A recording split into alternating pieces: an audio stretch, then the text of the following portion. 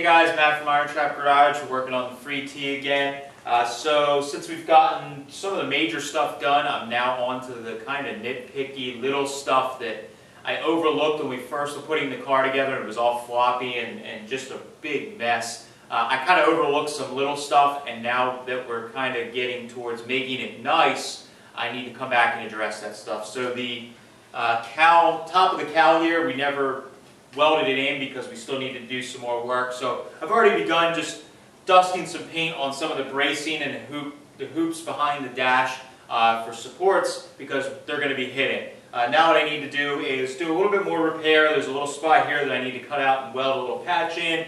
Uh, we started rust proofing everything with some Eastwood rust encapsulator.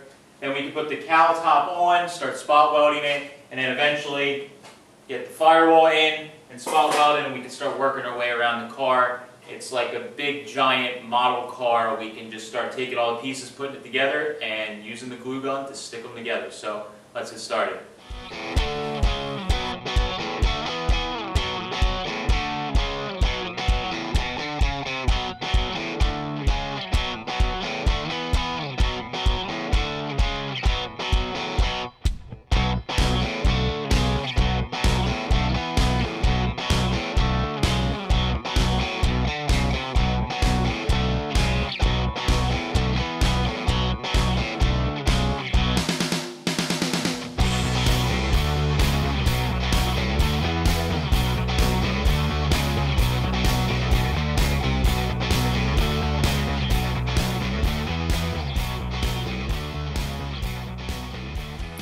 Alright, even with all the fancy tools that I have in the shop, English wheel, everything else, sometimes I just use the simplest of things that probably you guys have, and I know you have laying around as well. So this needs a little bit of shape to it. Um, it's more form, it doesn't actually need to be stretched or anything, it just kind of curves around here, and I have a flat piece of metal.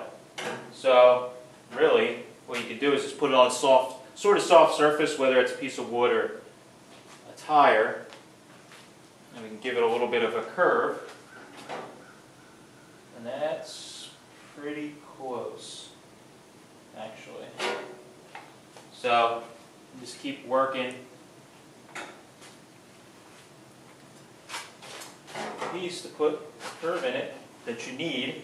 And you don't need a fancy,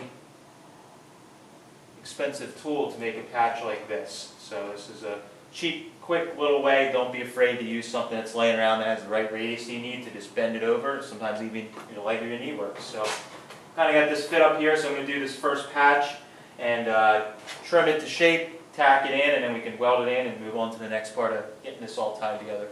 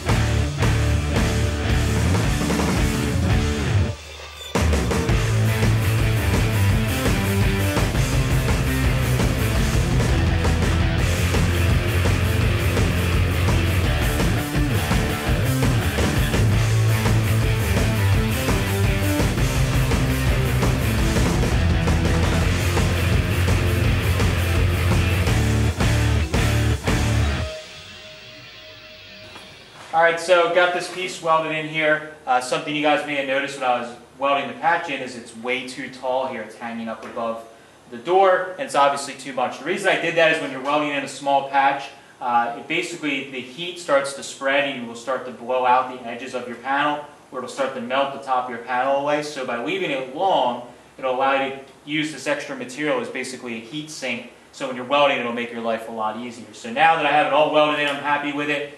I left the seam right here open because we're going to be cutting right there. So I'm going to take some like pinstriping tape here and I can put it right where I want it to start, there, and then I can kind of ooh, eyeball it, wrap that around. You can eyeball kind of where we want the cut line so it lines up there.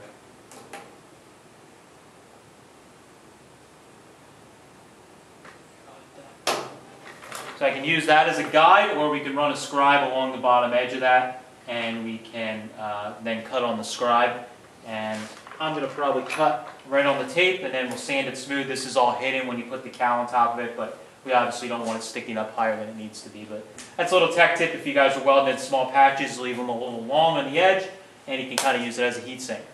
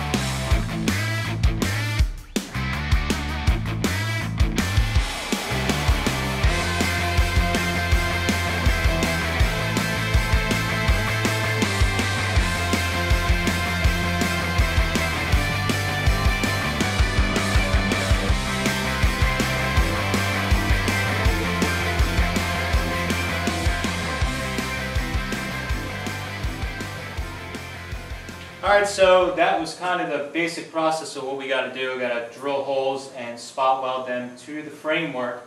And we fixed the patch on the side. Uh, good progress on this car. It is a lot more solid. Uh, I can start welding the sides of the cowl uh, to the cowl sides uh, here shortly. So uh, we're moving along pretty good. This is just the tedious little work that we're doing. Didn't want to give you guys a half an hour video of spot welding so you guys get the idea. I'm going to keep working down the sides and then we're going to get this firewall in next.